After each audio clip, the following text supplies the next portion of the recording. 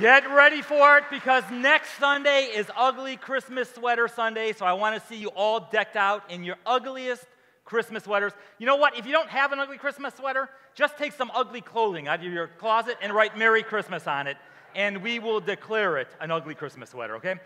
You know, it's, a, uh, it's Friday night's concert. For those of you who were there, it was phenomenal. I mean, we had hundreds of people there. People were stopping along the way watching.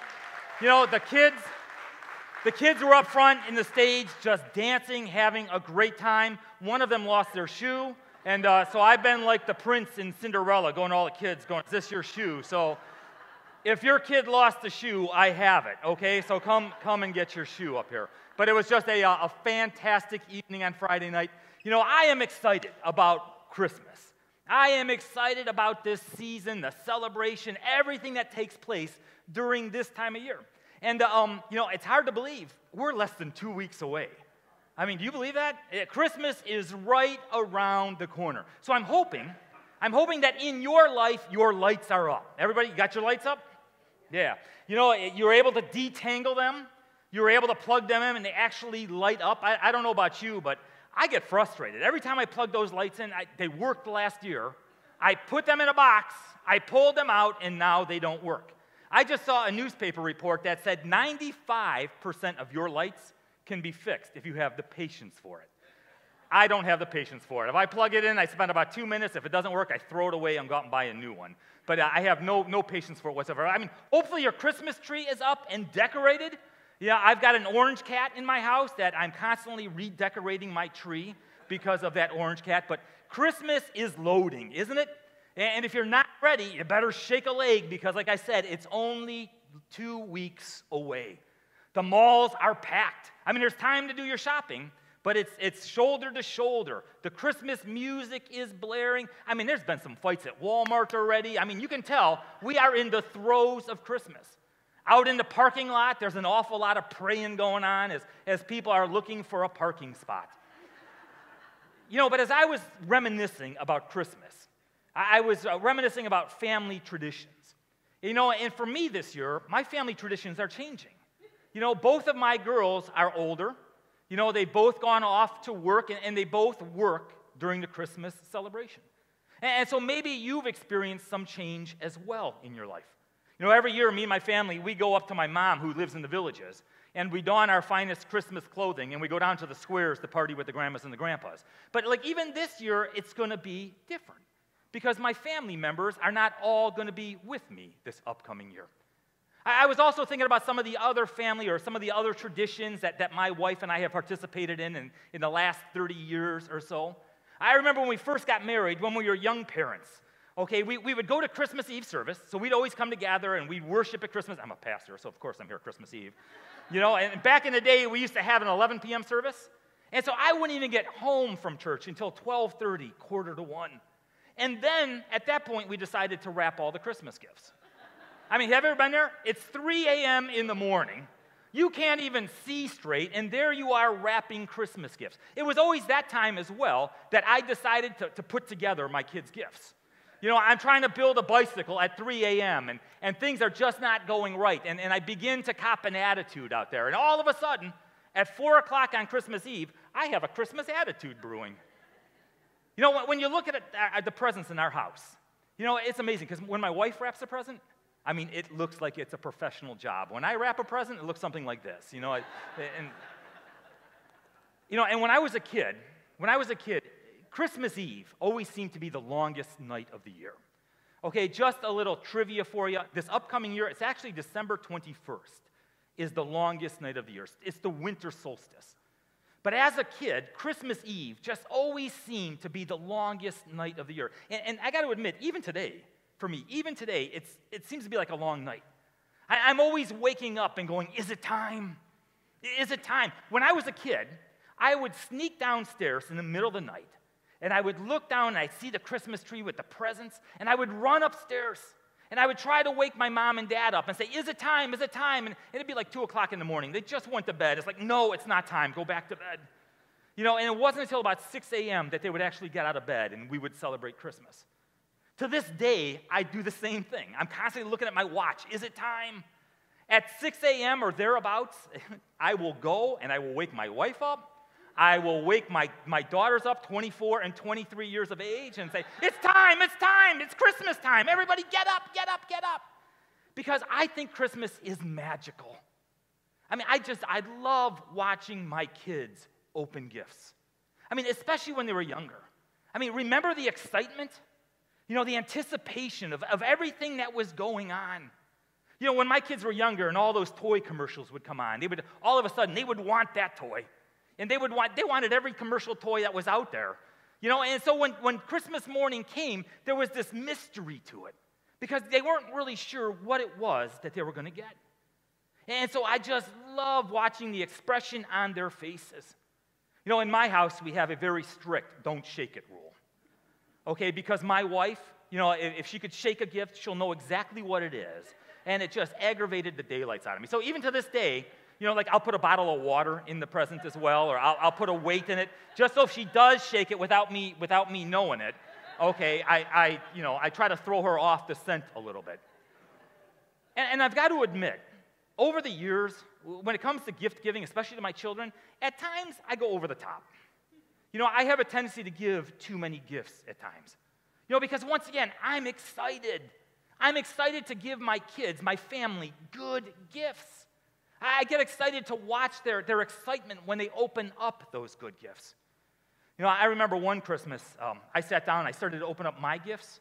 And, and the very first gift I opened up was one of those wax toilet bowl rings. and then the next gift was a faucet for the sink. The next gift was a tree trimmer. Okay, basically, my, it was the worst Christmas ever. My wife gave me, my wife gave me a honeydew list for Christmas. And that was my entire gift. But have you ever noticed your kids, you know, when, when they're younger, they want all these little toys, but when they get older, they get fewer toys, but those toys become more expensive. You know, once again, I, I love the excitement of Christmas. But as a dad, it's my excitement. You know, I love my excitement of, of giving my kids gifts. And then when they're opening a gift, and I know it's a gift that they want, oh, I, the anticipation, because I know what's coming. I know what's under that wrapper. And so when they finally open it up, man, it is exciting because I'm giving them a gift not only that they need, but even gifts that they want. My, my oldest daughter, Sydney, just kind of reminiscing, my oldest daughter, Sydney, once, her number one gift was a razor RipStik. Remember these things? A razor RipStik is basically a skateboard with only two wheels. Okay, it was this aluminum skateboard. You stepped on it, and you'd shake your like your back leg, and it would begin to do one of these numbers, and it'd build up momentum and go. Now, when she first got that razor RipStik, I mean, she was outside Christmas morning and she was playing on it. We made her wear a helmet. She had the wrist guards, the elbow, the knee. I mean, she was in full body armor, right? Because if she went down, we didn't want her to get hurt. But I mean, she quickly got it. You know, and she was all over the place in the neighborhood in that RipStik. And, and finally, all the body armor except for the helmet came off. Well, later that week, she got sick. She came down with the flu and she was feeling weak and she was bedridden for a couple of days. Well, the very first day that she was feeling better, she decided to go outside. She still doesn't have all of her coordination. She still does not have all of her strength. And she decides she's going to ride this RipStik down the street. Well, was a beautiful day. And I went on a bike ride. And I am coming home on my bike ride, and I see my daughter laying in the middle of the intersection of our neighborhood. I roll up on her, it's like, what's wrong with you? Are you stupid? Get out of the street. Don't be laying there. You know, and she, she very casually, nonchalantly says, Dad, I think I broke my leg. And I said, You didn't break your leg. Get out of the street. And she's like, No, I think I broke my leg. So I rode my bike home and I set my bike down in the grass and I very nonchalantly walked over to her. And I'm like looking at her going, Yeah, she broke her leg. so, so I pulled her out of, you know, I took her to the hospital. I met my deductible by January 4th that year. I had needless tests all year long. I, I, mean, I was tested for everything. It was a good year medical treatment wise. But you know what? I love to give gifts. I love to give my, my kids gifts, which reminds me of Luke chapter 11, beginning at verse 11, which Jesus says, Which of you fathers, if your son asks for a fish, will give him a snake instead? Or if he asks for an egg, will give him a scorpion? I mean, Jesus is saying, Which of you parents, if your kids are asking you for a fish or for an egg, if your kids are asking you for something good, which of you parents are going to give them something that's evil? Which one of you parents is going to give something to them that, that's, that's harmful or that bad? Okay, none of us. And Jesus says, if you then, though you are evil, know how to give good gifts to your children, how much more will your Father in heaven give the Holy Spirit to those who ask him? And so, what Jesus is saying is, is if we who are evil, if we who are sinful, if we who are self centered, and we know how to give good gifts to our kids, and we want to bestow good gifts upon them, if we who are evil can do it, just think about your Father in heaven, who is everything, who is perfect, who is good. I mean, think about the gifts that He wants to bestow upon us. And so, as we enter this Christmas season, my friends, there's got to be something to this gift of Jesus right? And, and that's what I want to delve into this morning. And I want to do it from the book of Ephesians. This is Paul's letter to the church at Ephesus, beginning in the first chapter at the third verse. And Paul starts off by saying this Praise be to the God and Father of our Lord Jesus Christ. I mean, right off the bat, you can hear the excitement in Paul's voice. Praise be to the God and Father of our Lord Jesus Christ. I mean, praise God for the whole work of God for our salvation. Praise God for everything that He's given, everything that He has done for us. That Greek word praise, it means to sing out, to lift up your voice, to celebrate, to, to, to make much of something. And so, right off the bat, Paul is, is singing out, he's making much of, of God the Father, of this work. Praise be to the God and Father of our Lord Jesus Christ who has blessed us in the heavenly realms with every spiritual blessing in Christ. Now, if you're one of those that you like to mark up your Bible, you know, you circle things, you underline things, and make notes in the, in the index, well, this would be every time you see that term in Christ, I would encourage you to go ahead and circle it, to mark it, to, to take in, to unpack everything that you see right there. Paul actually uses it 168 times in his writings. I mean, this is powerful because it's when we are in Christ that we, we receive every spiritual blessing. When we are in Christ, we receive justification. In other words, we've been declared innocent. You've been acquitted of all your sins.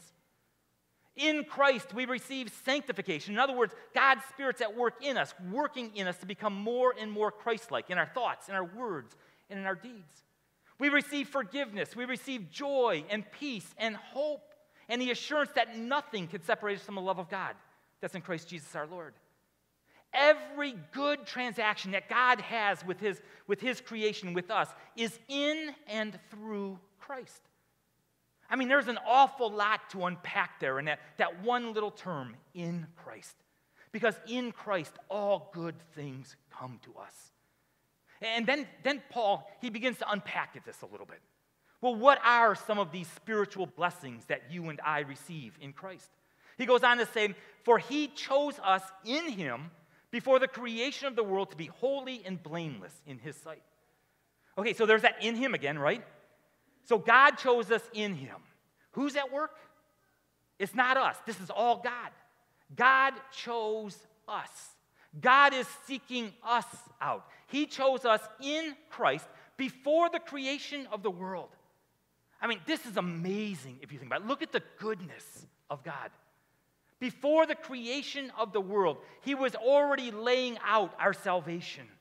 Before the creation of the world, He was already at work, calling us to Himself. And He called us to be holy and blameless. Paul goes on to write in uh, Colossians chapter 1 verse 22, "But now you have been reconciled by Christ's physical body through death, to be made holy in his sight, without blemish and free from accusation." We've been made holy in his sight, without blemish, free from accusation. Let, let me try to explain this to you. We know we sin. Okay, a sin is anything that we think, say, or do that goes against the will of God. I mean, all you need but do is think for a moment, and you realize how quickly, how often we fall short of God's glory.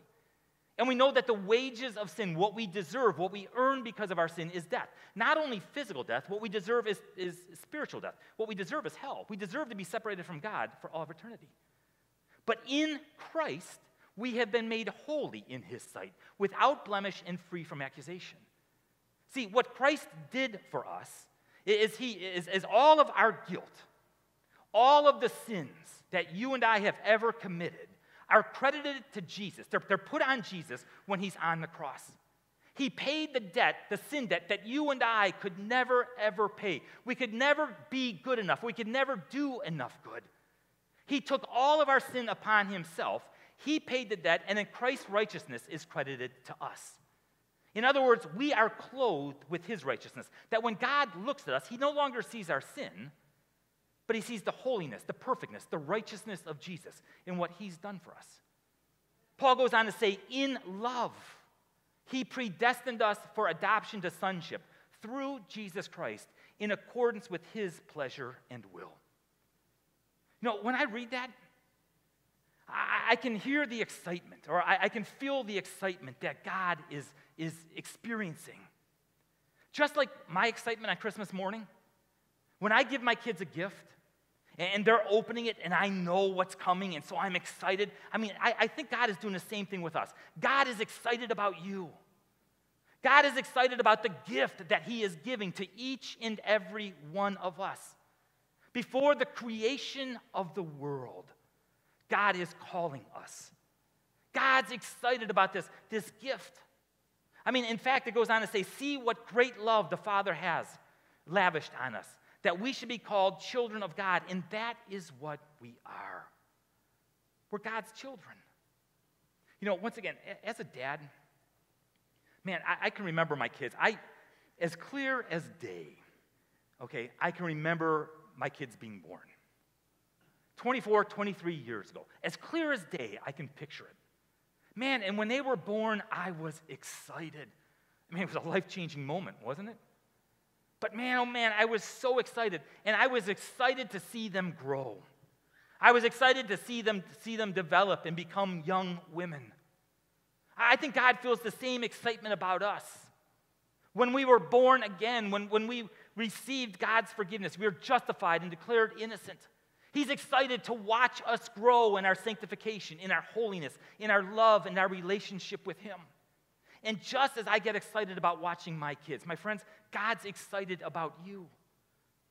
You know, but as I sat back and I watched my kids at times, I mean, they kind of surprised me at times. You know what I mean? it's like, what are you doing? Stop kissing the pig. You know, I mean, it's like,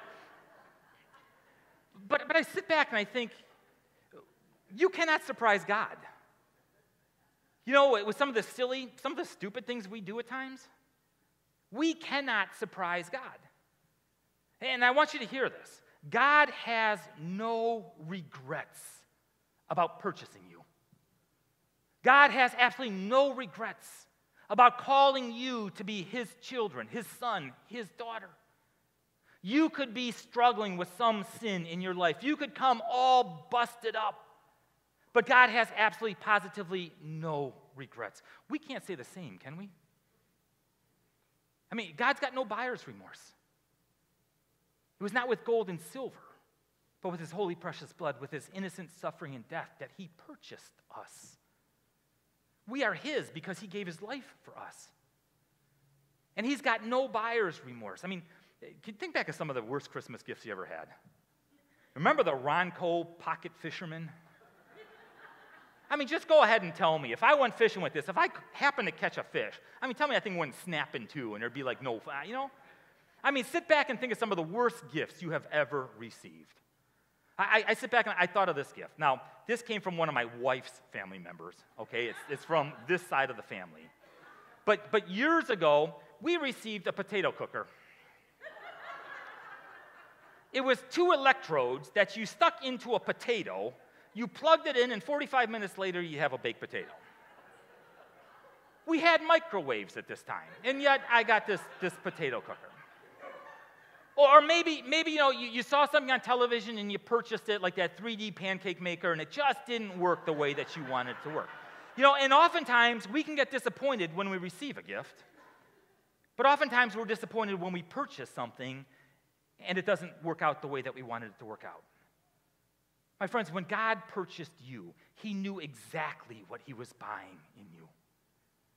He knew the good, the bad, the ugly. He knew your shortcomings and your struggles, and yet He gave His all for you. See, that's good news. That's excellent news. That's why we're celebrating this time of year. And why did God do it? I mean, why would God do all of this for us?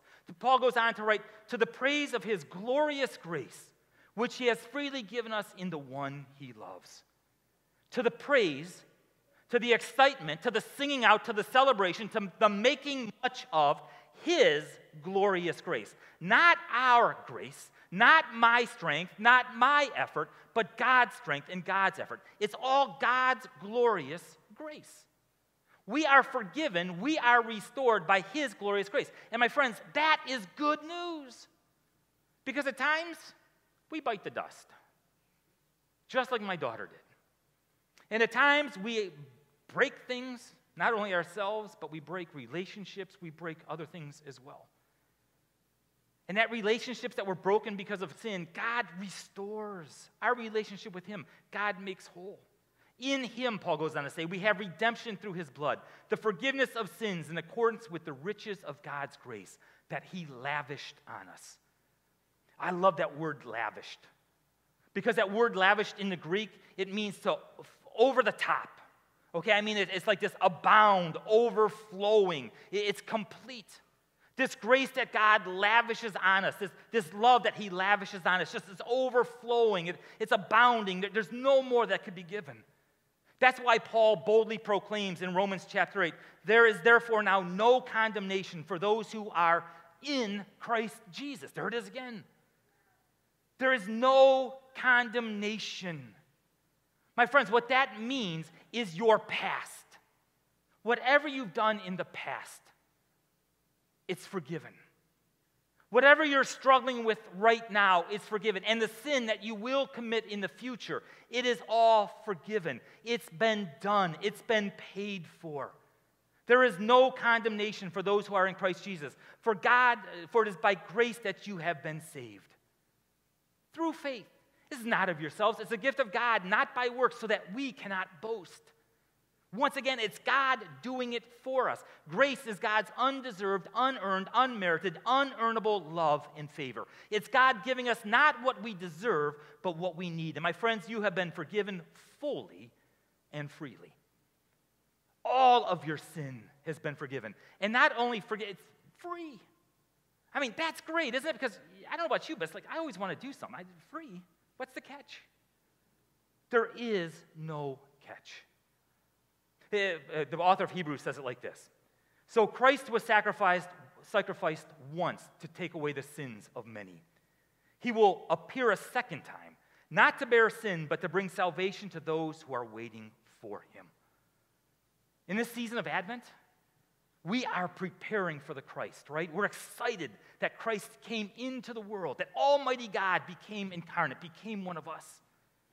And now we're excited about what's coming about his return, when he will not bear sin, but he'll bring salvation to those who await him. Now, straight up, I know some of you are struggling with this. Okay, I know some of you say, yeah, but Pastor, you don't know. Pastor, I'm way too far gone. You don't know what I did or what I said.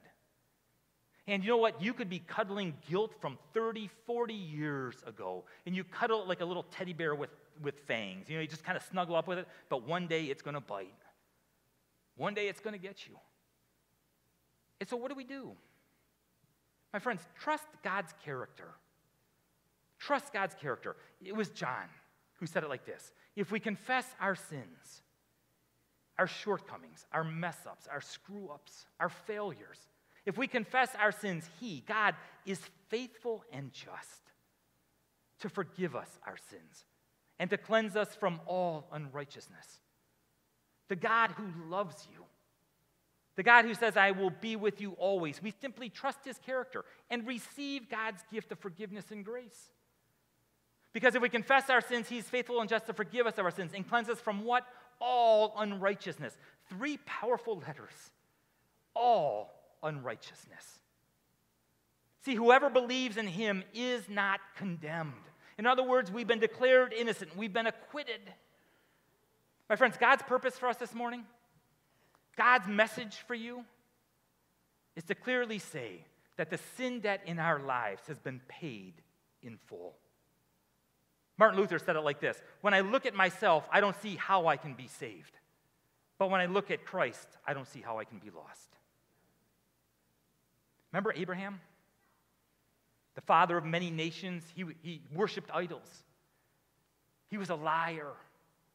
He sold out his wife several times. Remember Moses? Moses was a murderer. He was on the run. And when God called Moses, Moses uh, uh, uh stuttered and said, God, I'm not going. I, I can't go, God. And God used Moses to free his people from Egypt. There was a man by, by the name of John Mark, an evangelist who traveled with Paul. Mark had a bumping of heads in relationships, and, and in fear he ran away, and yet God used him to write the Gospel of Mark. There was a man named Saul who was a murderer. His whole sole purpose was to wipe the name of Jesus off the face of the earth. He was putting Christians, entire families, in prison, and he was having people executed. And yet, when God called him, we know him as Paul, the great missionary who, who went around the Mediterranean basin planting churches. He wrote 13 books of the New Testament. My friends, whatever you call yourself, whatever people point their finger at you and identify you as and call you, Jesus says, no, no longer, no more. You are who Jesus says you are. My friends, because of his grace, you are spiritually alive, heavenly positioned, connected to God. You're an honored child. You are his son, his daughter, loved and forgiven. It's the greatest gift of all. Let's share it. We pray please, Lord. We come before you this morning and we praise you for your gift. We praise you for your love, for your grace. That, Lord, even though we crash and burn over and over and over again, yet in your love, in your faithfulness, because of who you are, your character, you continually seek us out, you restore us. You restore that relationship between us and you. And because of what you have given and done for us, not because of what we've done, but all because of what you have done, we have the hope and the assurance of everlasting life. And so, Lord, by the power of your Holy Spirit at work in and through each and every one of us, may we live for you. Lord, may we give you the glorious praise of your grace. May we always point to you and your great love and your faithfulness for each and every one of us. Lord, use us. Use our gifts, our talents, our abilities to build up your kingdom, to share that greatest gift of all, the gift of your love. Father, these and all things you'd have us ask of you, we pray together in a prayer that Jesus himself taught us Our Father, who art in heaven, hallowed be thy name. Thy kingdom come, thy will be done, on earth as it is in heaven. Give us this day our daily bread, and forgive us our trespasses, as we forgive those who trespass against us. And lead us not into temptation. For thine is the kingdom and the power and the glory forever and ever.